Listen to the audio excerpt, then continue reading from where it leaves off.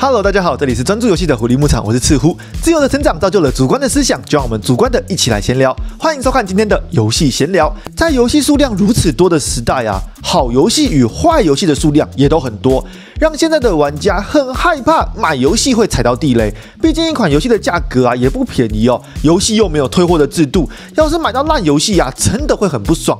也因此，如果游戏有推出试玩版，就可以让玩家先体验看看，避免踩到地雷。通常游戏推出试玩版推出的主要目的就是吸引玩家来买游戏，但是有些试玩版啊却非常的劝退哦，这又是一种怎么样的操作呢？今天的影片呢就来聊一聊那些劝退操作的试玩版。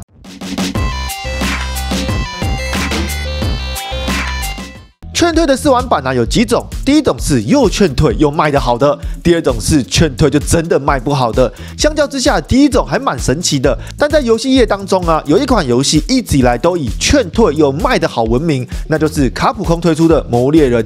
在《魔物猎人崛起》还没有推出之前，《魔物猎人》在 Switch 上有推出 Double Cross 跟 GU 的版本。我自己身为一个从还没有试玩版就加入的玩家，当然会很推荐这款游戏给别人。但身边的人呢，通常只要要玩过试玩版就会放弃，我到后来呀，甚至直接说拜托不要试玩，直接买没问题的。很大的原因就是因为《魔物猎》的试玩版的难度一向都设定的比较高，新玩家在体验试玩版的时候啊，基本上根本不太可能可以顺利通过任务，会有一种我现在都不行，那我买来之后更不可能可以的感受。到了崛起的试玩版呢，我觉得有比较好一点点，但依然有不少玩家在试玩版遇到挫折。其实魔物的试玩版呢，在难度比较高的级别之下，就算你是过去就有玩过的老玩家，坦白说也不一定能够顺利完成任务，是真的非常非常劝退的试玩版本范例。但这款游戏啊，却卖得非常好。就我自己来看，我会觉得啊，《魔物猎人》这款游戏本身，它的游戏架构与系统其实就足够吸引玩家，并且有非常良好的游戏性，包含接任务、狩猎的机制啊，四人共斗的机制，在操作上其实并不会很困难。难的地方是在于你对魔物的理解。以及对于各种武器的熟悉程度，只要愿意花时间，其实都可以有一定的游戏体验。当然，想要变成高手，那又是另外一回事了。而《魔物猎人》的试玩版之所以劝退，刚刚有提到啊，主要的原因是针对新手玩家，在难度的设计上比较困难。但是并不是游戏的内容有问题，在我看来啊，这个试玩版比起要吸引更多的新手，它更多的是让有玩过的玩家可以体验一下这次的系统变化以及操作手感。新手啊，能够从中获得的主要还是游戏的模式架构而已。另外，这个系列的作品啊，它最早推出的时候是在没有试玩版的年代，而真的大幅度的广为人知，很大的原因也是来自于 PSP 平台的方便携带性，让当时多人共斗的特性啊完全发挥出。来，所以即使现在的试玩劝退，也依然有过去投入的玩家会支持，并且带动整个游戏圈发展。除非是与世隔局的新手啦，不然多半会有老手愿意带着新手玩家入门。这就是共斗游戏的一大好处。虽然我自己还是私心的希望，他们未来的试玩版可以有一个模式是完全针对纯新手的，让我们不用一直跟新手说不要相信试玩的难度啊。然而，好的范例之所以能够成为经典范例，就是因为数量不多嘛。通常，如果试完版就劝退，那游戏的总销量也不会到非常漂亮。这点从不少 Steam 上的独立游戏上都可以看见结果。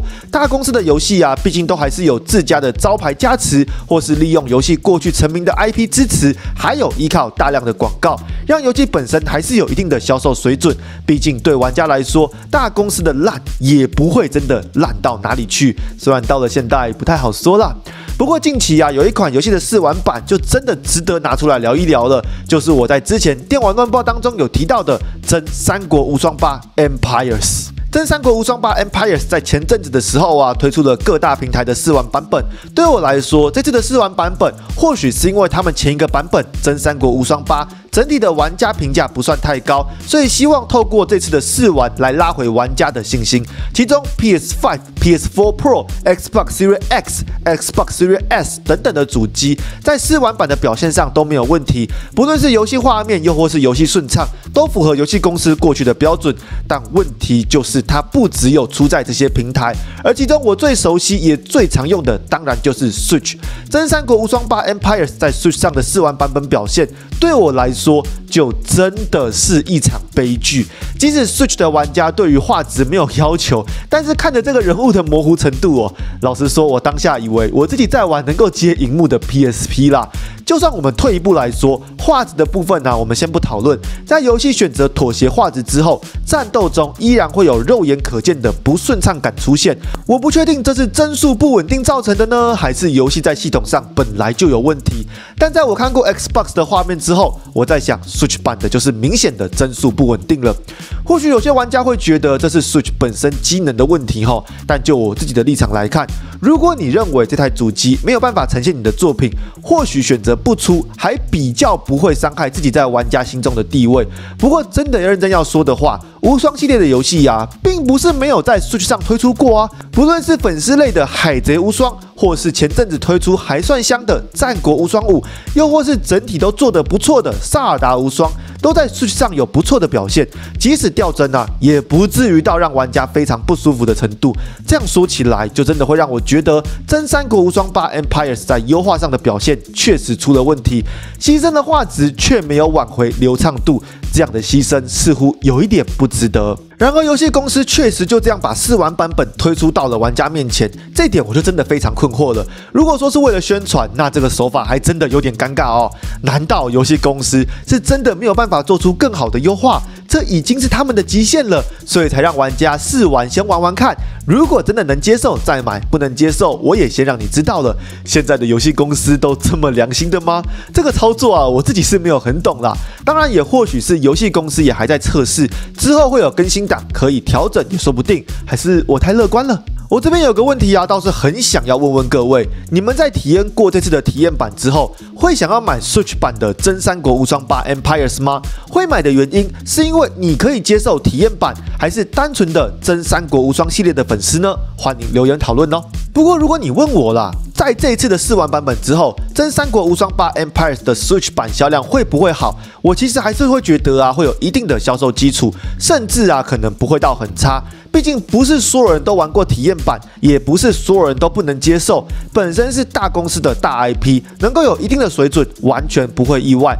这次的真三国无双八 Empires，我自己还是会买下来，但我会买 Xbox 的版本，确保自己有良好的游戏体验。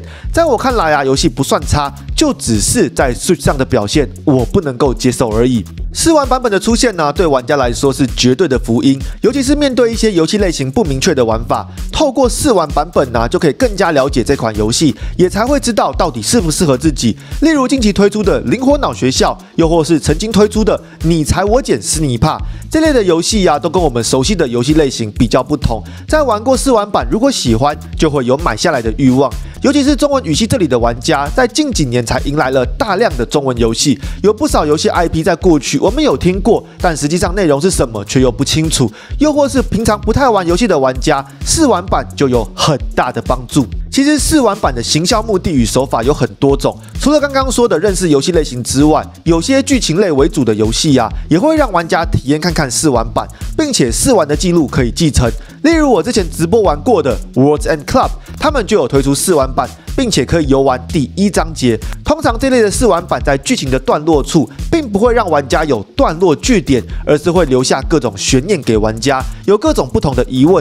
这样的做法，除了可以让玩家了解游戏的系统之外，还可以表现出游戏在剧情张力的呈现上到底如何。要是能够顺利吸引玩家的好奇，让玩家想要继续把后面的剧情玩下去，那么就会是相当成功的试玩。宣传。另外啊，还有一些动作游戏呀，也会有试玩版本的推出。例如《密特罗德生存恐惧》这类的游戏呀，用来抓住玩家内心的，就比较不是它扣人心弦的剧情，而是它在动作的操作手感，又或是系统的丰富程度，让体验过的玩家如果爱不释手，最终也能够成功的把自己的游戏给宣传出去。而对于一些自认为手残的玩家来说，也可以借由这个机会来确认自己到底有没有办法上手这款游戏。但是反过来说，也不能说没有试玩版的游戏就是对自己没有信心。有些作品在剧情上需要的是连续的情绪连贯，游戏公司希望能够让玩家有完整的游戏体验，所以并不会先推出试玩版本。不过老实说啊，我们也因此碰到了不少地雷，倒是真的。站在游戏公司的立场，试玩版本对他们来说也是一个上市之前的测试，试试玩家体验过后的反应状况。如果好，当然没有问题；如果不好，在正式版推出之前，都有时间可以利用更新档做出调整。这种状况啊，我想各位应该也有看过不少啦。不晓得各位对于游戏试玩版有怎么样的想法呢？你们是看到有试玩就会去下载看看的人呢，还是你们都是直接等正式版才会直接开始玩的人呢？欢迎留言分享哦。我自己其实多数都是属于后者，我会想要留给自己连贯完整的游戏体验。那这次的影片呢，就到这里结束了。如果你喜欢我做的影片，我还有其他影片可以看哦。我是赤狐，祝各位游戏愉快。